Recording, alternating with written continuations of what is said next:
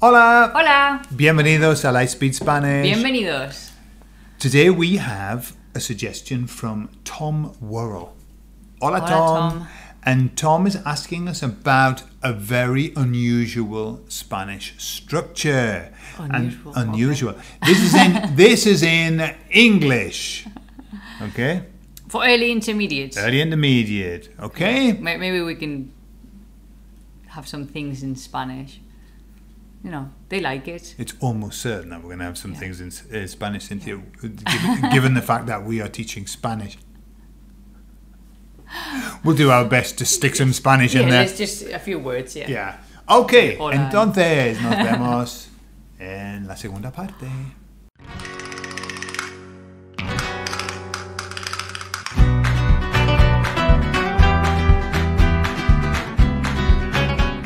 Vale, Cynthia. Vale. Tom, Tom D, uh, is saying uh, in, in English, just a quick one, as it's really bugging me.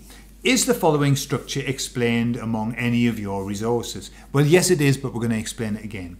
Se te ve feliz. Se te ve feliz. Se te ve feliz. Se te ve, Se te ve muy bien. Se te ve muy guapa. Se te ve contenta. Se te ve. Yeah. so, first of all, let's t- se te ve feliz. How are we going to translate that into English? Oh, in English it's really easy because you would say you look. You look happy. You look happy. You look happy. Yeah. So, to understand this better, right? This this is actually Whoa. the victim structure. Is it? It's kind of like the, it's the feel of the victim structure, which is something's happening to you from afar. Yeah. Yeah. Right. Okay. So, let's take the first bit. Let's take the te out of that sentence, and we say se ve feliz. Se ve feliz. Mm-hmm. Okay. What would that mean? Then uh, if you said se ve feliz, I would think you're saying he uh, looks happy Or, or or she looks happy. Right. So ba- basically, se ve feliz is just third uh, third person, singular. Right. Yes. He, she, or it, Or it. or it. Yeah. Okay. So what happens is we've just got this like it looks happy, he looks happy, she looks happy. Okay. But when we stick the te back in, it's like suddenly happiness. It is looking happy on you, basically. The way I, I look at it is, for example, with you look happy. The easiest way would be pareces, pareces feliz. yeah. That, which is literally you look or you seem. Yeah? Because look is not to look at like this way, it would be to seem. You look happy, pareces feliz, pareces feliz. Okay. Uh, another way you could say, I see you happy. Mm-hmm. Te veo feliz. Okay, you I see happy. Te veo feliz. But when you say se te ve feliz, means that that person, it's let's just put it that way, it's exuding happiness, Exuding, yeah. and everybody can pick up on that. Yeah. Yeah. So se te ve feliz in general. I, it's not. I'm not talking about I'm I'm seeing you happy or he's seeing you happy. It's just you are. Um, how would I say that in English? Exuding that Yeah. in ge- like generally. Yeah. Okay. So everybody can see that you are happy because that's what you emanating. exactly. Yeah. Exactly. Would that work? Ah. But it's it's uh, right. So let, let's just give you another example so you can Yeah. see something else with that structure because that structure comes up so much in Spanish. Okay, and we've named it the victim structure because it's something outside of your control. Okay, it's like you're so happy that you're giving it off and everybody can pick up on it. Okay, but for example, if we talk about something like se te ha caído el libro. Okay. Okay, that would be completely different scenario. Mm-hmm. Mm-hmm. But it's a similar thing, which is the book has fallen. Yes, but in in Spanish we don't like the blame That's true. for anything. That's true. So we're gonna blame everything else. So if if I drop a phone accidentally, we're not going to say I dropped it. We're going to say it fell. From me. me. Let's blame the phone, okay? It Uh-huh. wasn't. It was not my doing. Um, so, what was the sentence you said? So, se te ha caído el libro. Se te ha caído el libro. Yeah. Yeah? So the book has fallen from you, Mm-hmm. Yeah. for example. So that structure is basically take the T out and we can say se ha caído el libro. That means the book has fallen. Okay? So all that happens is when we when we inject a pronoun into it, we link the act, the event with the person. So when we say se te ve feliz, basically what we're, we're saying is happiness itself Yeah. is seen on you. It's it's Yeah. it's uh, You have you have an example in English, for example, when you say it slipped my mind. yes. Okay? Uh-huh. So instead of saying I forgot, which you can, Yeah. you can say it slipped my mind. Yeah. So it's like that thing got out of my head, yeah? Uh, yeah, exactly. Not my fault, the thing did it. So we can say that as well. Yeah. Um, You have an expression, eh, el, el examen se me hizo eterno. Is that right? yeah. Yeah? And that's like, the exam was eternal. Yeah, okay. That would be in itself, that's a different thing because se me hace or se te hace, se nos hace, you change that pronoun. But you, the se and hace stays the same.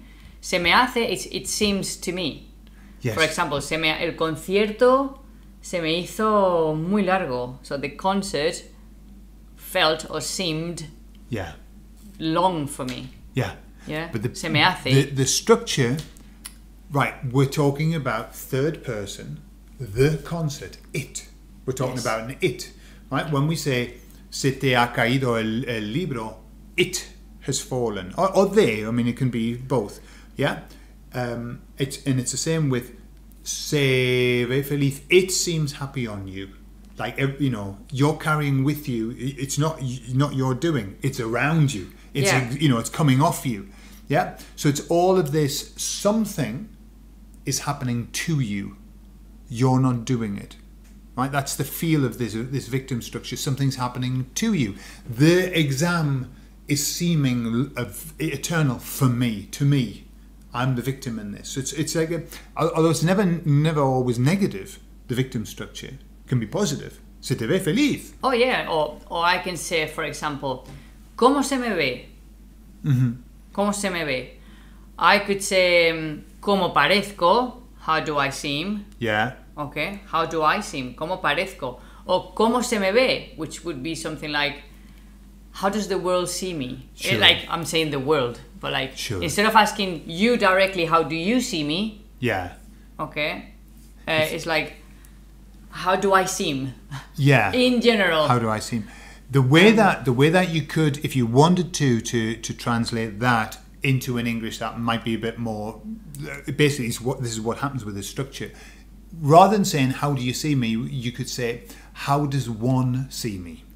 Okay, one being General. general. Yeah. How does one? the queen of oh, when you se, se te ve muy muy feliz, one sees you very happy. Yeah. Yeah, this is this like displacement of it's not I'm seeing you, one, you know, the universe or whatever you want to call Yeah. it. So that's that that structure, although we don't have it very much in English, is very very popular here. Yeah, very popular. I suppose it, it gives you an extra option um, when you want to ask a question or when you want to say something and you don't want to directly say you do this or I. You can just place it in the world, Yeah, the world or this in general. One in we're general. not we're not involved. Yeah. yeah, Because you can, I mean, you can do that in many, many ways. It's not, that's not the only way you can do Yeah. that. yeah. So the original sentence was, se te ve bien. Se te ve feliz. se te ve feliz. So I could say, te veo feliz. I see you happy, but now I'm involved because I'm Yeah. the one seeing you. Yeah, Maybe nobody else sees you happy, but I see you happy. But if I say se te ve feliz, it means that I, I'm telling you that everybody's gonna see you happy because that's what you look. yeah, So it's not just me, it's everybody else. yeah. Yeah, Yeah, se te ve feliz. Exactly, exactly. Now, look, that that structure is is a structure that that's used, but you, there are lots of ways around it, as Cynthia said. So don't Yeah, think that I you have wouldn't to use it worry. I wouldn't way. worry too much about No. this structure now. There are other ways you can say the same. You can say te veo feliz. I like that one. Pareces, pareces feliz. You seem happy. Yeah, Yeah. yeah, Or yeah. no, I don't know. Um, That- m- mostly those two. Yeah, I like I like that one. Te veo because you can you you can you know just saying uh, you look. That's how You we say look. you Te- look. te veo muy te bien. Veo. Ah, te veo triste. ¿Qué te pasa? Te veo triste. Yeah. So Yeah. there are lots of this te veo. Yeah, and obviously you can change the the pronoun into uh, la veo, lo veo, os veo. Yeah. You know, whatever, whoever you want to talk about, who you who you're seeing. You look. You all look. She looks. See.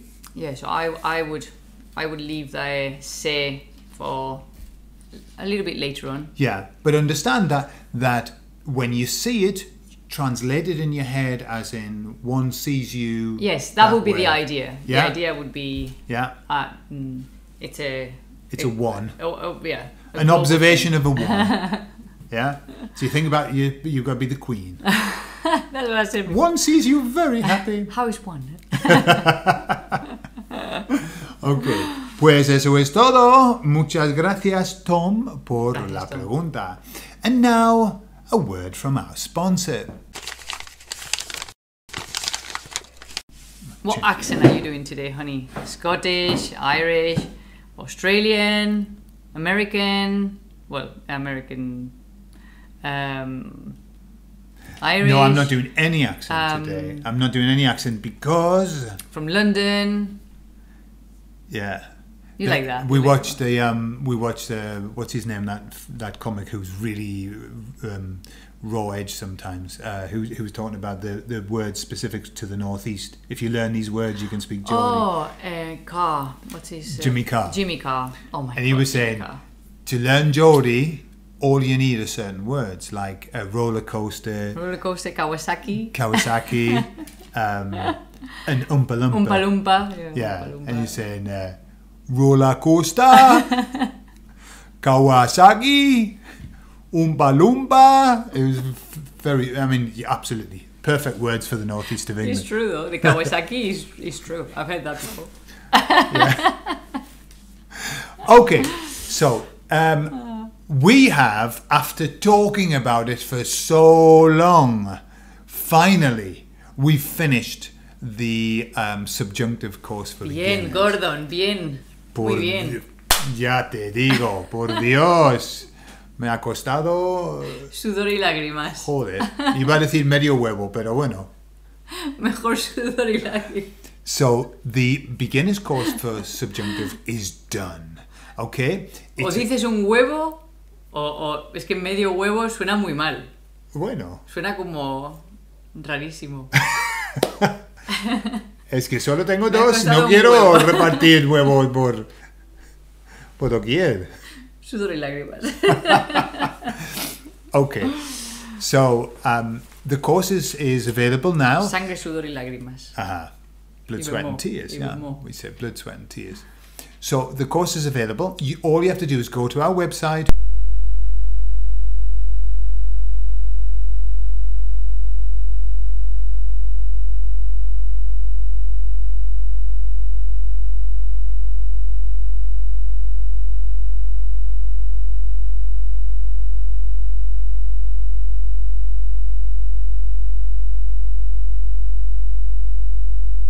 Sure. Yeah, But I explain why it is that you should start early. Even if you just get a, a minimal grasp of it, start early.